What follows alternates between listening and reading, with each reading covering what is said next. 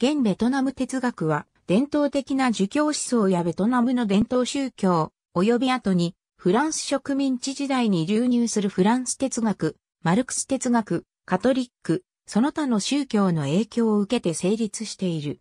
紀元前111年に、ベトナムの中国への服属が始まるとともに儒教が、ベトナムへと流入、紀元後929年までの3つの北族期の期間に定着した。これはまた道教や仏教が流入する契機ともなった。儒教は、科挙制度により、ベトナムの政治体制において定着した。ベトナム哲学に関する研究の大部分は、現代のベトナム人学者が主導して行っている。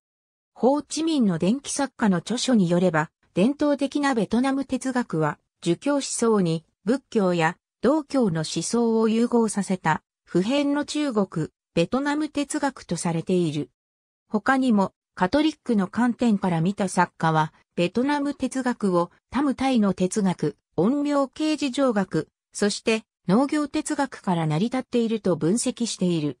国立台湾大学の哲学科教授であるチャンバンドアンは1996年にベトナム哲学はヒューマニズムではあるが人間中心主義ではないと考察している。儒家、詩人、哲学者、学者の代表格としては初向き厚氏が挙げられる。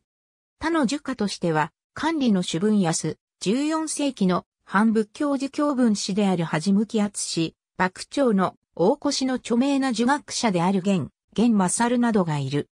近現代の著名なベトナムの哲学者としては、カオスアンフイ、グエンズイ、クイ、グエンドゥクビン、グエンダントク、ファムコンティエン、チャンバンザウ、現代のマルクス主義哲学者であるチャンディユクタオや、ベトナムのカトリック哲学者、ルオン・キムデンなどがいる。ありがとうございます。